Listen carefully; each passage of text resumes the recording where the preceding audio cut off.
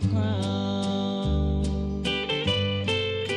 Gospel can haunt you because even though you like earthly pleasures, in the back of your mind, it's like, this is going to send me to hell. And this whole idea that there's this burning pit ready and waiting for me unless I walk the straight and narrow, but I can't quite walk the straight and narrow. I get tempted. I'm going to hell. The devil is chasing me. There's this spiritual warfare going on. God's pulling you one way, the devil's pulling you the other way. And that was the Louvin brothers, that was Elvis. It, it's a haunting. that stays with them their whole life. And help me cast on Satan's jewel crown. At the time the Louvin brothers were making their way in country music, a one-man whirlwind out of Memphis, Tennessee was turning over everything in his path.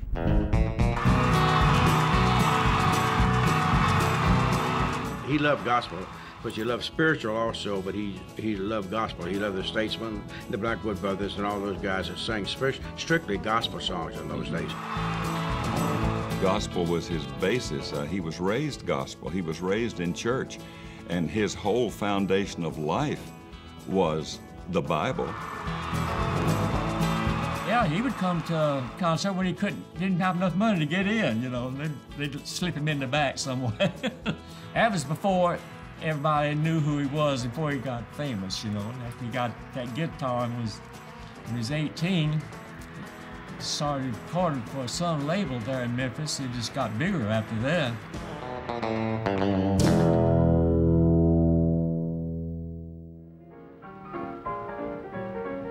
Elvis Presley, the gospel quartets would be a lifelong passion. It was from the Statesmen Quartet, the Blackwood brothers' nearest rivals, that he drew much of his inspiration. There was a gentleman by the name of Big Chief from the Statesmen Quartet out of Atlanta, Georgia. And if Elvis were alive and you asked Elvis what he got from the Statesmen Quartet, he would very readily tell you his legs. Big Chief, he would stand sideways, close his eyes, and take his left leg, and he would curl his leg in and out like that. And Elvis was always fascinated by that leg. And he said, I learned all these moves in the Assemblies of God Church. Yeah. You know, I, I didn't, I didn't, I didn't, it's not. It's not vulgar. From very early in his career, Elvis had looked to add a white quartet to his sound. And when he heard the pop spirituals of the Jordanaires, he knew they were the group for him. The Jordanaires, they could sing rhythm better than anybody. And at the time, they were the only ones singing to the offbeat. All the other white groups were singing to the downbeats, and the Jordanaires were singing to the offbeats.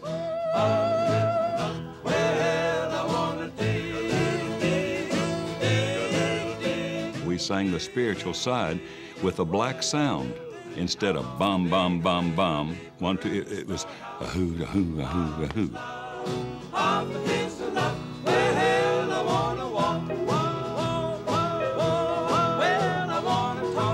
So when we met Elvis in 1955, uh, he said, I want to hear, you know, some of that finger snapping spiritual stuff, and we sang some for him. So that's really what attracted him to, to our sound.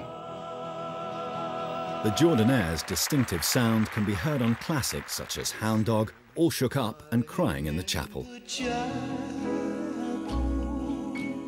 Sessions were called for like 6 o'clock in the evening. And before you know it, uh, Elvis wouldn't get there till 8 o'clock or 9.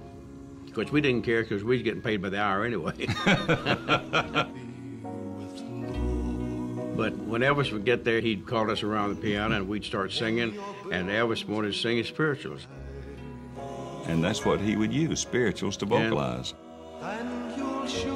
It didn't necessarily calm him down, it was a way to warm up. Yeah.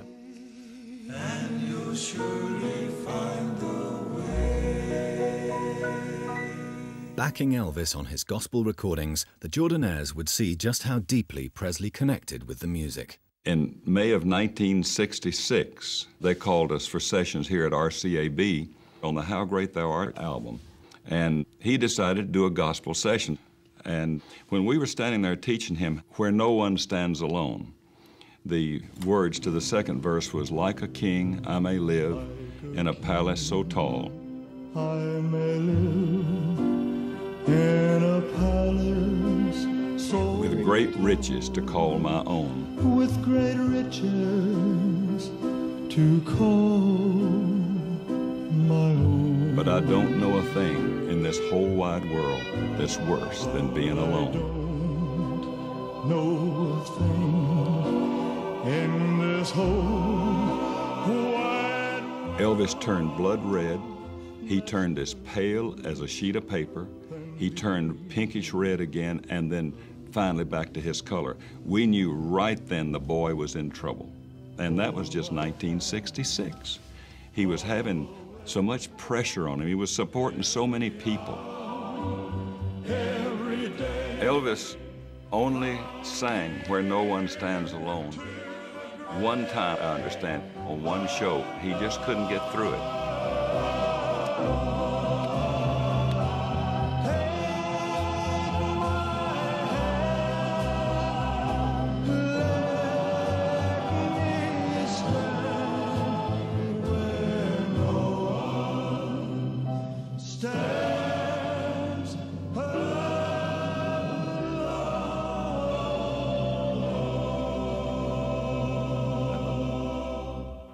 Was our mm. go- that was our gospel sound. Mm-hmm. You notice how I edged, edged my bass, and you had that tenor. Yeah. Yeah, that was gospel sound. Mm-hmm. When Elvis played Las Vegas later in his career, he always took a gospel quartet with him. Their singing duties weren't just confined to the stage. Just about every night, he would go to sleep on some really slow gospel song. One of us would, would see to it that he got in bed was safely tucked in. By 1971, he would even hand over his stage to backing group J.D. Sumner and the Stamps, that included ex Blackwood Brothers bass J.D. and his nephew Donnie. I've seen Elvis melt like a popsicle in the hot sun while we would sing gospel music to him.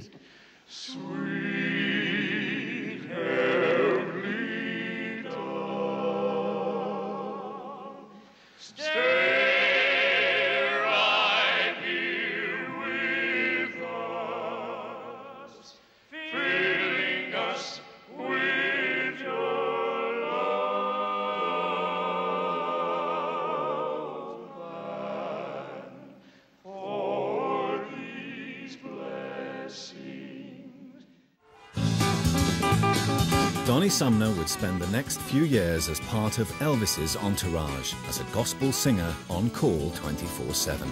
But the lifestyle took its toll, and when Sumner rediscovered his faith, he went to consult his boss. We closed out in Vegas in 76, and I went to him at the hospital, and I said, Elvis, I got to tell you something. I had a religious experience last Saturday, and if you'll allow me, I think I'd like to break my contract and go back to Nashville and get me a job and be a regular person and see if I can't get my act together. And he looked at me and he said, Man, I'm proud of you. He said, I sure wish I could do that. I sure would like to go someplace and just start all over. but he said, I can't. He said, I guess I'll just keep on being Elvis. But you go do what you got to do. And if you ever need a friend, you know where I'm at. And I turned around and walked out, and that was the last time I ever saw him face to face. Oh, the blood of Jesus. It's the precious blood of Jesus, and it washes white as snow.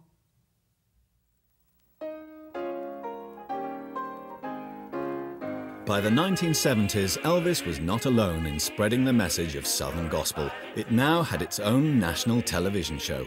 Welcome to the Gospel Singing Jubilee from Nashville, Tennessee. And now our hosts for the Gospel Singing Jubilee, the Florida Boys.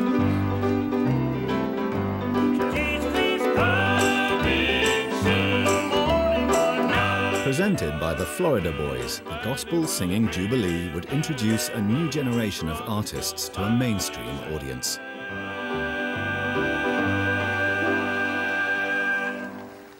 This next song is by our special guests, the Singing Rambos, and it's another of Dottie's songs. It's a song written in the form of a fervent plea. Listen as they do Walk With Me. Lord, dear Lord, as long as you walk with me. Frequent guests were family group the Rambos. Walk with walk me. With me. Talk with talk me. Be every breath I breathe. Know every. Their leader, Dottie Rambo, would come to be recognized as one of the greatest and most singular talents in the history of Southern gospel. Elvis used to say to me, Dottie, you and I could follow a, a dog act and a clown.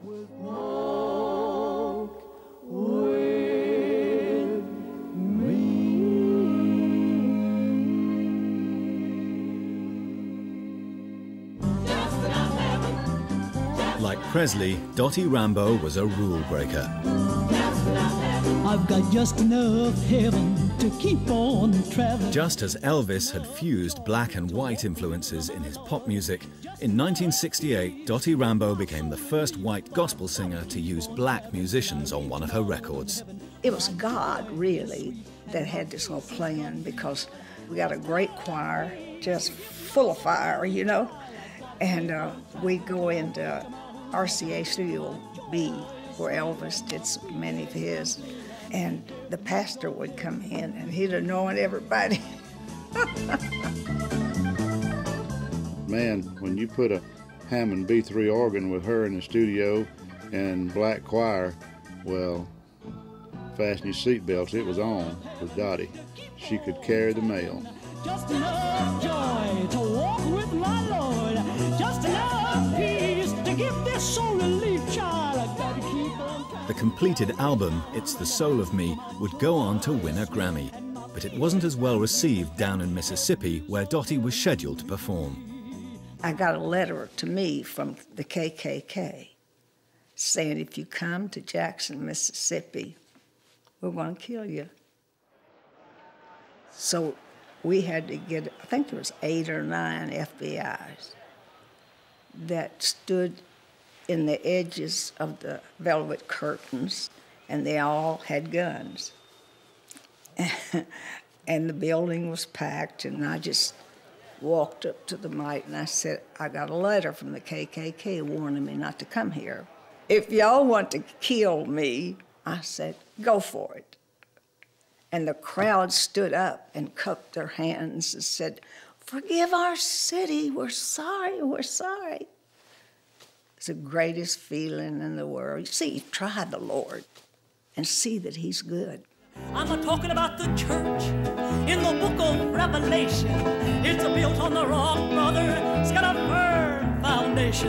It's a been through the blood. Oh, yes, and it's been right down through the fire. One of these days, that church is gonna move way up higher. It's the church. In gospel music, you have very few superstars, and she is actually one of the, the superstars. In gospel music, she's Dolly Parton, she's Elvis Presley.